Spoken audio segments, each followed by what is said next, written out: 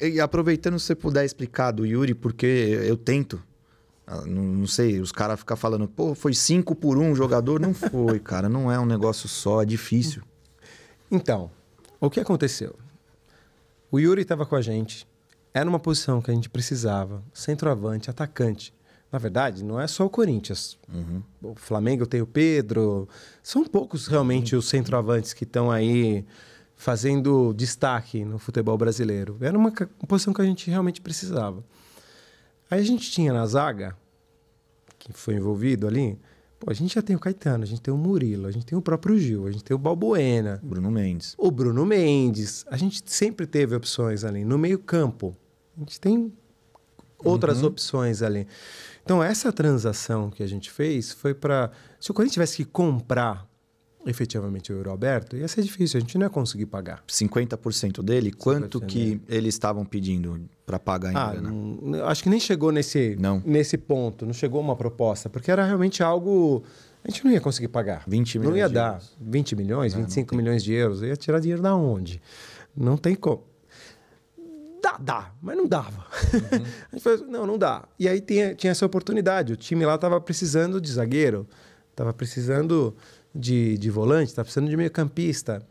E aí o Duílio conseguiu, o Adriano, o, o Alessandro conseguiram fazer essa engenharia, que, pô, que foi ótimo. Porque a gente acabou não precisando desembolsar. Claro, na contabilidade, entre os seus valores, tudo ali, mas a gente trouxe alguém para uma posição que a gente realmente precisava.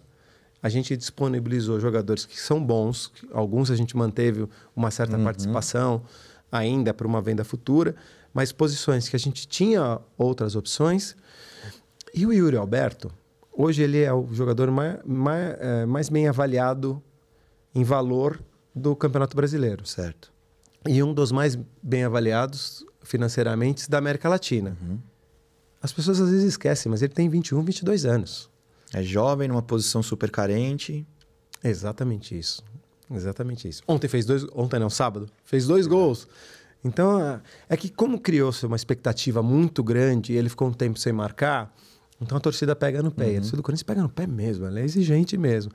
Mas acho que a gente tem que ter um pouquinho de calma. Um grande jogador, tem uma técnica apurada, é forte, Tem. tem, um biotipo, tem uma saúde incrível. É porque quando, quando virou o ano, tava todo mundo pedindo. Fica, continua, a imprensa, a torcida. Aí ficou numa sequinha de gols ali, mas mesmo assim se- dedicando muito, correndo o jogo inteiro, você vê que tenta. E aí é incrível a falta de confiança que faz. Às vezes uma bola, puta, ele tropeçava na bola, é a falta de confiança e a emoção à flor da pele que acabou o jogo contra o Santos, eh, que ele fez o gol, porra, ele eh, foi de um lado até o outro, de joelhos, agora acabou o jogo contra o América, o cara se, se caiu no choro. De tanta pressão, talvez que ele mesmo também coloque em cima dele, porque acho que diferente do, do nosso amigo Luan, um abraço, é, ele sabe da responsabilidade que ele tem, o quanto ele custou, o valor do salário dele. Ele sabe da responsabilidade que ele tem. O cara tá se coçando pra caramba, tá tentando, não tá acomodado. E ele não fez gol, mas talvez ele seja. O Fagner deve ser o líder de assistências e ele vem em segundo lugar. Então ele está se esforçando, ele está contribuindo para o clube. É que a gente é muito exigente. Como o resultado não estava vindo, aí normalmente você pega para Cristo aqueles jogadores que você sabe que tem um potencial para resolver. Mas agora a gente já está com três vitórias. É. A gente vai se classificar para a. Sul-Americana. É diferente, a é. gente vai atropelar o São melhor, Paulo na é. Copa do Brasil, se Deus Deus, quiser, quiser. Vamos para mais uma final. Então eu acho que essa mara é, ruim vai passar. Como que é quando